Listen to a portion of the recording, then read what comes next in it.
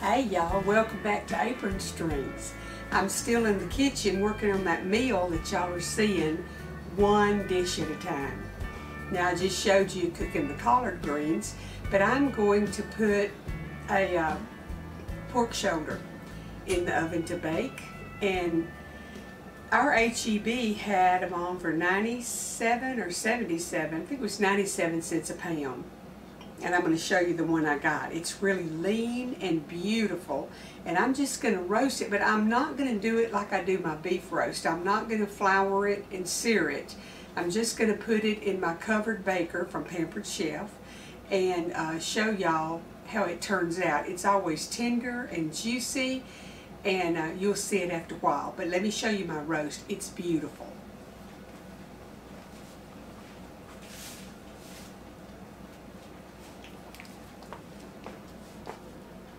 See all the lean on it? I'm so excited to get one. It's some fat on the back, but not much. It's got a whole lot of lean with the fat marble through it. So this will be wonderful. It would be good for pulled pork, but I'm going to just cook it like a roast and we'll tear it apart and eat it. But anyway, let's get it out of this packaging and get it in the dish and get it in the oven to cook. Okay, what I've done, I've rinsed my roast, and there's a controversy on whether you rinse meat or not, but I always do plain water don't rinse germs off. If it's got germs on it, they're going to be cooked and killed. But it's just me. I feel like it's cleaner.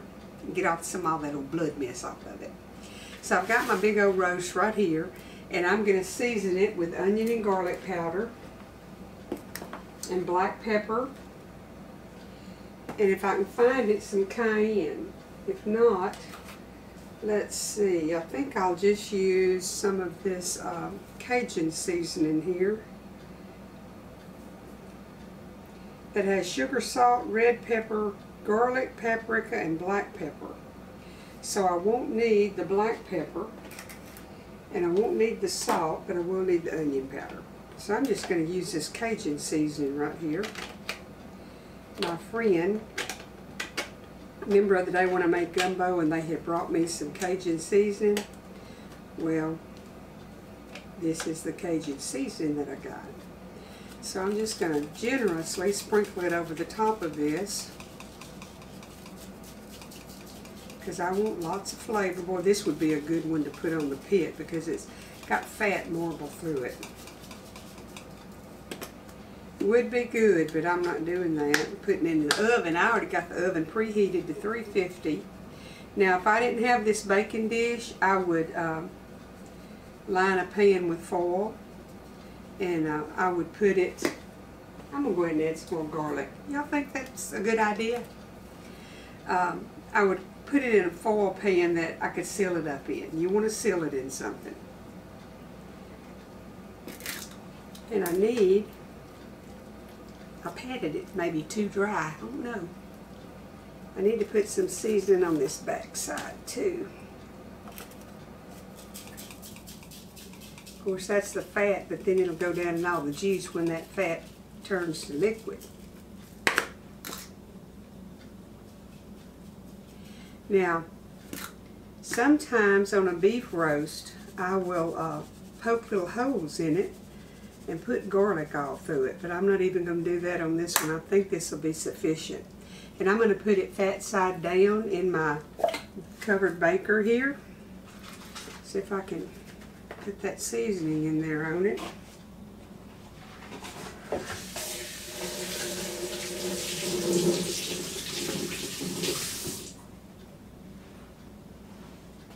If my pot were bigger, I would like to put uh, some sweet potatoes in there with it.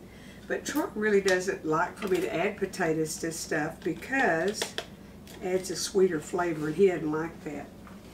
This is a Cooney name, and I don't know what it is. B-O-U-R-Q-U-E-S is the seasoning I'm using. And I'm assuming that you could order it. It says, is it Bourque's Supermarket, Port Barre, B-A-R-R-E, Louisiana. So I don't know if they have a dot com or not. They have a phone number, 337 585-6261 if you would want to call and see if they could mail you some. They do have a dot com. it's www, that's got red pepper in it, folks. www.bourquesspecialties.com if you want to order some. It's good. I used it in my gumbo the other day. It's kind of like Tony Chachere's, but it's their brand. Okay, I'm fixing to get the lid on this little darling and get him in the oven. And it'll take a while for it to cook. I forgot what they say uh, pound-wise.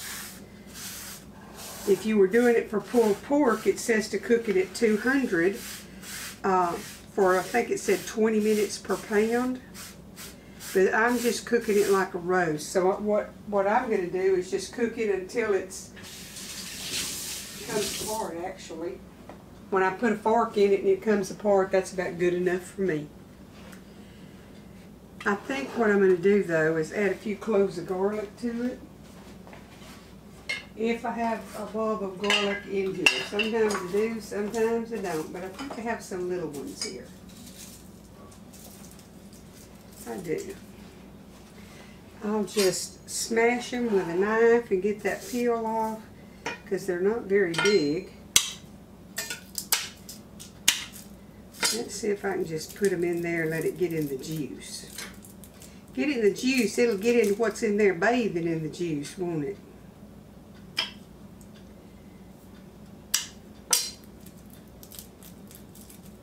I just don't think you can have too much garlic. Now that's debatable, but I, I don't want the debate. I just want to use my garlic. I like it. Whew, that's got a sore on it. We don't want it. And that one's awfully small. I think it's two or three smalls. Maybe I'll cut it a little bit. Cut that little root off. It didn't look too clean.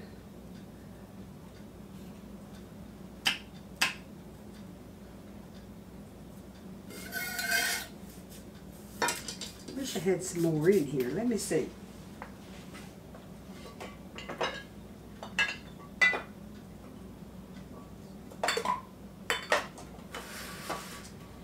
No, I don't.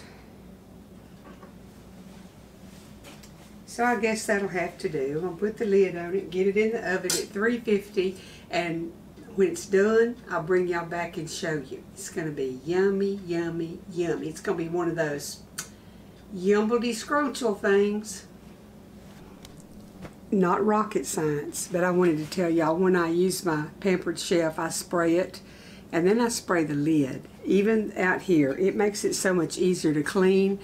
So if you hadn't thought about doing that, it's a good idea. Okay, I got the pork shoulder out of the uh, oven and I put it in a foil line cookie sheet just in case some of the juice boiled over, but it didn't. So I'll get it out of here in a minute and kind of shred it or whatever and we'll have supper, but I wanted to show this to y'all. I'm probably not going to plate it up right now, but it does look really good and it's tender. I can stick the fork in it and it just breaks apart. So I'm very, very pleased with it. Okay, so now y'all know how I cook pork shoulder like a, a beef roast, only it's pork roast. And I think it's going to be yummy with that Cajun seasoning on it. We'll see. And if I don't forget, when I get a plate fixed, I'll uh, take a picture where y'all can see what all we've got today. But you've been with me every step of the way. I'm just showing y'all on a different video each component of the meal. Hope y'all are staying warm wherever you are. It's cold and windy. It's going to keep being that way a few days. And um, hope you're having a happy new year. Trying some new dishes. I know, most of you's probably on a diet. I didn't even I didn't even say that this year. I never stick with it. So anyhow, take care of yourself. Come right back here in a day or two and you'll see something else I'm cooking that's good. And we'll talk a whole bunch and I'll share whatever that pops through my mind with you. The good Lord bless you.